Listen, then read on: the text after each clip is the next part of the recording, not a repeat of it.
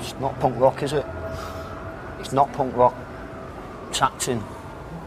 It's pretending to be something. Yeah, there's loads of people with green hair who should really have brown, making little punk songs, and it's not punk. Did one of you guys, one of you guys in the band jam with Neil Young before? Or did No, did you? yeah, no, did?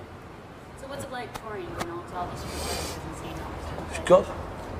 It's good.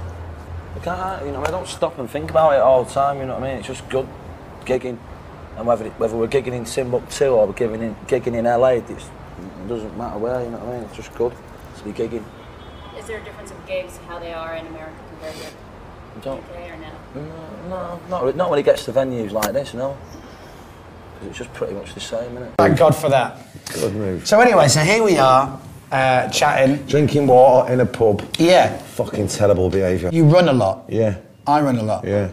I really enjoy it. I hate it and enjoy it at the same No, I time. fucking love it, man. Really? You d- oh, I love it. You'd never wake up and go, oh, God, I do this again. No. That's Yeah, but- really good, though. Some days, you know what I mean, when you're hungover and all that, and you think, can't be arsed, you know what I mean? But once you get out there, it's the best thing ever, man. It just, everything just falls into place, you know what I mean? It's like, for me, it reshuffles the pack. I get back home and I go, right, got to do that. He's got to be fucking told.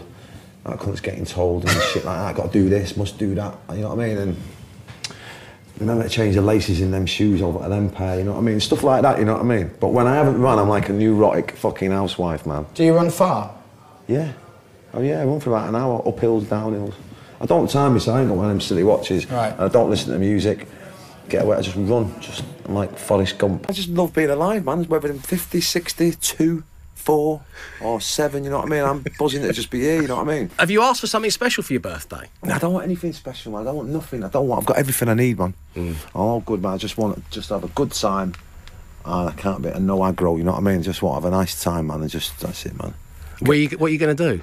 Well, we're going. We're going away and that. You know what I mean? Oh, okay. Yeah. Top secret location. Well, you know what? Your I've- nearest I, and I've already told people where we're going, so I'm probably going to get my house robbed now. But we've cancelled it. We're going to hire a flip out in um, Brent Cross.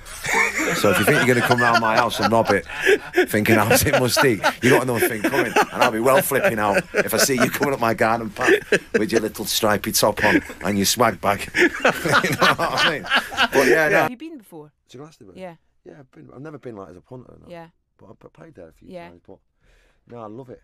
One of the things I wrote down yesterday was like, uh, and I don't know if it, if it matters to you or whether you care or not, but um, I said that if um, if Noel heard these songs, Hmm. I think he would be like, they're effing great. Yeah, completely, man. Without a doubt, yeah, definitely. Because at the end of the day, man, he loves music, and we all love music, and you know, and I'm sure he wishes me well. You know what I mean? Because that's what it's about, isn't it? Yeah. But yeah, now there's some good songs on there, and I'm really proud of them, and I can't wait for people to hear it. So after the festivals this summer, what's the plan?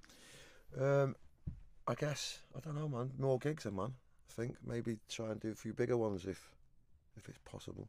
You've got to be happy with the response so far, though. No, I'm made up, man. The crowd, the kids, are there's a lot of young people as well at the gigs. You know what I mean? So it's like that's a good sign. Have you been before? To Glastonbury? Yeah. Yeah, I've been. I've never been like as a punter. No. Yeah. But I've played there a few Yeah. times. But no, I love it. One of the things I wrote down yesterday was like, uh, and I don't know if it, if it matters to you or whether you care or not, but um, I said that if um, if Noel heard these songs, Hmm. I think he would be like, they're effing great. Yeah, completely, man. Without a doubt, yeah, definitely. Because at the end of the day, man, he loves music, and we all love music, and you know, and I'm sure he wishes me well. You know what I mean? Because that's what it's about, isn't it? Yeah. But yeah, now there's some good songs on there, and I'm really proud of them, and I can't wait for people to hear it. So after the festivals this summer, what's the plan?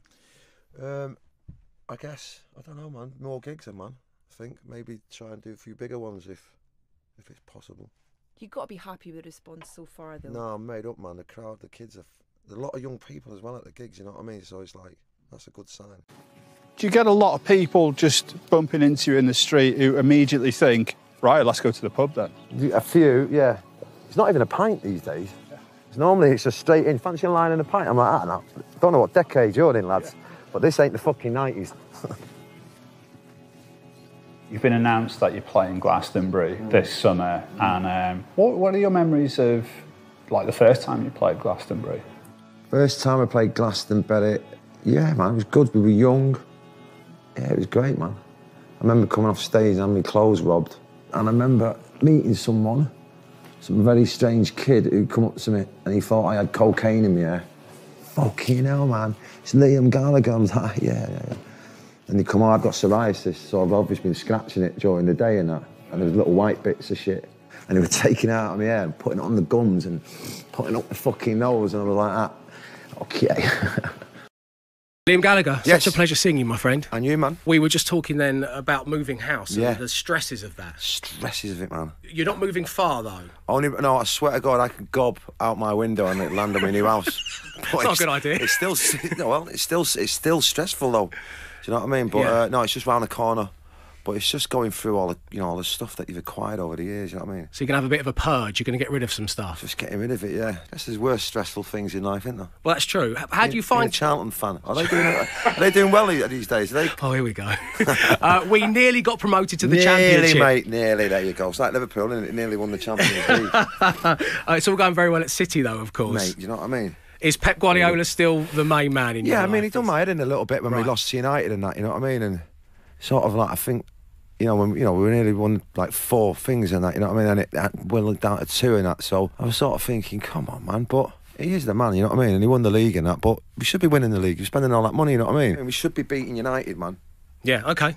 I mean, what, you did win the That league. done my in getting beat by them lot, but there you go. I get the right up when people call me a celebrity. Yes. Okay, you're a rock star. You're a Well, yeah, musician. rock you're a songwriter. star, yeah, There's rock and roll star. Rock stars, rock. Right. Oh no. Yeah. Of course. I see what you Rock- mean. rock and Actually. roll, rock yeah. and roll's got a bit more swag, aren't they? Them rock stars are a bit uptight, aren't they? Too many tattoos, leather kecks, and Yeah. yeah, squeaking going on. I didn't. I had never thought of the difference between the two. It's good to be educated. I, I think so. I think there's a difference between rock and roll and rock. I heard that you ran into Frankie Dettori on your holidays. Yeah, bumped into him once. We were sitting out drinking some margaritas. There was me, Liam Howlett, out of Prodigy, and my mate Adam. And he's come over in his Speedos. Hey, hey, hey, fucking hey, and all that stuff. He's joined in anyway. and he's turned around, he's gone, he's gonna be back in a second, and he's gone to the fucking shop and bought me mate a bra. Because Adam was a bit, bit big at the time and that. So it didn't go down well with him. Anyway, the tequilas are flying and all that tackle. And then it all gets, you know, when it just sort of just goes a bit fucking silly. At some point, I'm on the back of him in his speed, because we've had him out now for about eight hours. And he's got his speedos on. He's going, hey, see my strong legs and all that. I was going fucking on the back. I got on the back and I'm proper slapping him on the ass. I'm running round this gaff. I haven't seen him since either. See, I was thinking about, you know, thinking about your family. Your kids are born into a very different situation to Yeah. the one you're born in. Yeah. It's going to be very different for them. Like, how are you going to handle that? They can have anything they want, I presume. No, they can't. Well, if you're prepared to give it to them. Yeah, but you no. can afford to give it to them. That's really the point. Yeah, I don't really think about it, you know. I just take each day as it comes, you know. I don't think about what's going to be like in 10 years' time with kids, you know what I mean? I just try and have a good day every day with them. Yeah. You know, I don't, I don't plan too much, you know. We'll deal with that when it gets to, when it gets to that time. Yeah. And um, what, what do you see in them of you? The looks, they've got, they're very good looking. What about attitude? I mean, are they, Oh, you know, they've got you're a swagger. You have Well, a I great, yeah, they've got that, yeah. they've got the attitude. Yeah, but they fall over after a couple of walks, you know. But that's the way they walk. Yeah, I need Yeah. a couple of drinks in me to be falling over. Yeah, they, they take the milk and you, yeah, Yeah, the other stuff. No, no, they're good kids, I love them. So um, we're talking fashion actually, right, darling? So anything special that you think, okay, is this a special fashion outfit or is it just like whatever you wanted to wear today? What, what yours? No, you. Oh, mine, mine, It's a big award show. No, mine's a pair of Lee, like semis, like from um, Japan. Like a coat I got from like Germany, a pair of trainers I got from Germany. It's not my kind of scene. Like, you know, like, you know, like- Dressing up. Yeah, I, I like to wear like baggy clothes. You know what I mean? And not like short sort of clothes. I like to like have it hanging loose, man, loose fit. Pair, like tight up top, pair of pair of trainers. So what do you think is the worst fashion mistake someone's made? Have you seen someone that's so like, ooh, like so fashionable and is really doing your head in and it looks hideous? Yeah, Right. yeah. Who? You, you look like a dove. I now understand why this guy doesn't do many interviews. I now get it. I totally get it. What is he doing now? I think he should go and like go to the audience and check out the. So I started off the Dan, the drummer. He helped me with the demos. Yeah. So it was natural for him to be the drummer, and then um, and then we got Drew in, and his mates with Mike, who's the guitarist, and obviously Jay from Kasabian. Yeah. He was always going to be in it. So uh, come together, man. I mean, we've only done like about six gigs, so still still new. You know what I mean? But I think by the time we get to Glastonbury, man, we'll be smoking, man. That was brilliant news to be unveiled. Was it Oh, yesterday? Yeah. Nice I'm one. Not, listen to me, but um, I'm still Glasgow. You know what I mean? I lost my, pho- my phone. My phone's still up in Glasgow in the No. hotel. Yeah, so I've not had any. ch- I've not my kids up like that. Going, where the fucking hell is he? Yeah. We're sad. Do you know what I mean? Where is it? Quiet. Um, that's a that's a great news though. Glastonbury's going to go off, man. Man, I can't wait. But you know that business of, uh, you say it's better than to be on page one than on page Yeah. 18. I mean, you know, when you give the press a hard time, you know, No, people... they gi- and I think they give me an hard time too, but I'm not here to moan about it. They give me an hard time. Yeah, I just but go, you know what I mean. I just go about my business, you know what I mean? And then they sort of like see me just be right there all the time, which is fine, you know what I mean? But I thought long lenses are meant to be, you know, stuck over there. Why have a long lens when you're going to poke it in your face, you know? what I Yeah, so you actually let them know. Yeah, I, I don't think they should be taking pictures of my kid, personally. Well, that's not on, Yeah, they can take pictures of me and they can slag me off. And they can say the music's no good and stuff like that, but my kid's got nothing to do with my thing, you know what I mean? Yeah, because I, I thought there was a kind of a a pact that the press had that they didn't intrude into people's lives well, when it do- came they- to their well, kids. No, I think, they, I think they do. Yeah. No, I think they do.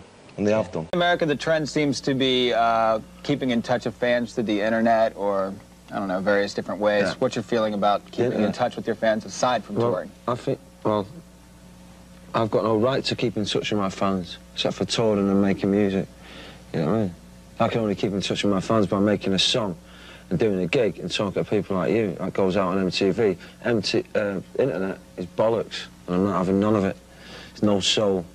So, and other than that, walking down the street and meeting your fans, I'm not into the internet at all. So I can so do a bit of that. it's easy. So we can. I just don't like it, man. It- it's not safe to say you don't have a computer at home and you're not do- uh, I do- chatting with Oasis fans. I, no, I chat to Oasis fans in my own time, you know what I mean? But I've got a computer, but just because of what? But like everybody else. I don't, I'm not plugged in yet. Do you wear your influences on, on your sleeve and in your heart? I mean, if it wasn't for, for John Lennon, I mean, who do you think you would have taken your, your lead from? Um, well, I love all that. John Lennon's my man. He's like he's the voice. I like him when he sings his rock and roll songs, but then he he can also sing some beauty. He can slay you with his little you know ballads and that. And so he's my man. Johnny Rotten. If I'm, I kind of get a mix of if I'm in between John John Lennon and John Lydon, somewhere in between that, I'll be happy with that. It's a nice place to be. Yeah, man. Um, so what's next? You got you've got a couple of shows in Asia, and then Next, yeah, next we go to Bangkok, and then we go to Jakarta, and then I've got two weeks off on holiday. I'm going to let it all hang out. Ooh, we're going to read about you, aren't we? Well, yeah, well I'm going to have, definitely have a couple of drinks. I'm going to, you know what they're like out there. I'm going to keep a lid on it. You know what I mean? But I'm going to have a couple. I'm going to enjoy myself, try and get some sun on my bones and that.